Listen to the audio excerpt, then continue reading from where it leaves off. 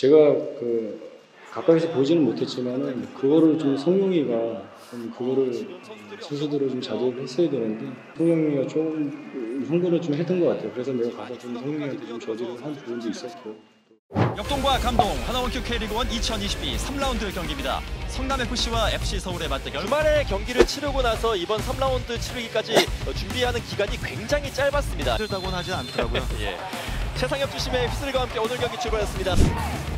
기성용의 대각선 패스 하지만 머리로 잘랐습니다. 고단규. 자 박스 안쪽에 슛! 벗어납니다. 아 초반부터 강성진 선수 네. 아, 좋은 슈 좋은 슈팅이었습니다.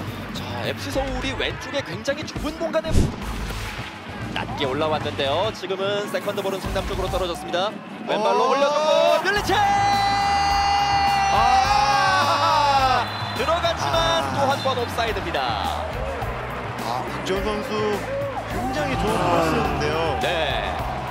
아, 류지 선수도 정말 좋은 헤딩이었는데 아쉽게. 강희빈. 아, 아 강희빈이 패스를 넣지 못했습니다. 예. 자, 올라갑니다. 그런데 여기서 아 반칙이에요. 아, 이종성 선수가 상당히 고통스러워하고 있고 지금 경고가 고요한 선수에게 네. 주어졌습니다. 어느 정도는 탑재를 하고 있어야 되는 그런 센스가 되겠습니다. 네 수비수로서는 어, 그런데 아. 여기서 이종성과 고요한이 또 붙었습니다. 앞서서 한 차례 충돌이 있었던 고요한과 이종성인데요.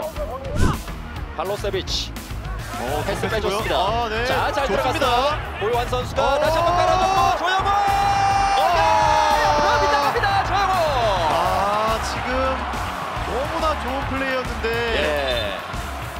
사이드에서부터 강성진 선수부터 이어지는 그 패스 플레이. 자, 지동원 선수가 선취골을 위해서 한번 움직여 보고 있습니다. 어 좋은 네, 패스. 좋은 아, 패스가 들어갔습니다. 지동원의 땅볼 크로스 반대편. 오! 아, 들어갔어요. 아, 또 이게 안 들어갑니다. 아, 서울의 아. 골운이 계속해서 따르지 않습니다. 자, 정말 지금도 너무 좋은 크로스. 예, 안쪽으로 길게 발사합니다. 하지만 역시 막아냈고요. 네, 볼이 좀 짧았죠. 예. 오!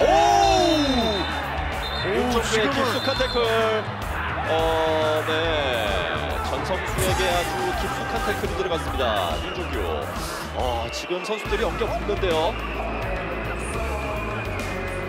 네. 지금 안익수 감독까지 끼어들어서 선수를 좀 진정을 시키고 있습니다. 김남일 감독도 찾아왔어요.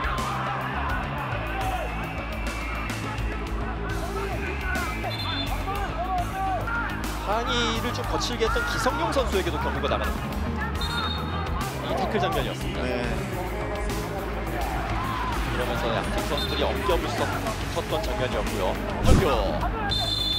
아, 예, 네. 결국 양 팀의 경기는 이렇게 득점 없이 0대 0으로 끝나게 됐습니다. 권한규 선수와 어, 기동용 선수의 네, 뭔가 말싸움이 있는데 원래 이렇게 끝나고 나면 네, 조금 감정적으로 격해져 있는 상태이기 때문에 그렇죠. 네, 이런 일들이 벌어지곤 합니다. 김남일 감독과 기성용 선수도 뭔가 얘기를 좀 나누고 있는데 네. 아마 아까 전의 상황에 대해서 예. 얘기를 한 것 같습니다. 그렇죠. 이제 그 상황에서 이제 좀 제가 가까이서 보지는 못했지만은 그거를 좀 성용이가 선수들을 좀 자제를 했어야 되는데 성용이가 조금 흥분을 좀 했던 것 같아요. 그래서 내가 가서 좀 성용이한테 좀 저지를 한 부분도 있었고 또 그런 부분에서 좀 제가 성용이한테 좀 자제를 좀 해달라 예, 그렇게 요청을 좀 했던 그런 상황이었던 것 같습니다. 근데 경기를 하다 보면은 충분히 있을 수 있는 일이고 또 그런 것들을 선수들이 스스로 또 그런 것들 컨트롤 해야 되지 않을까.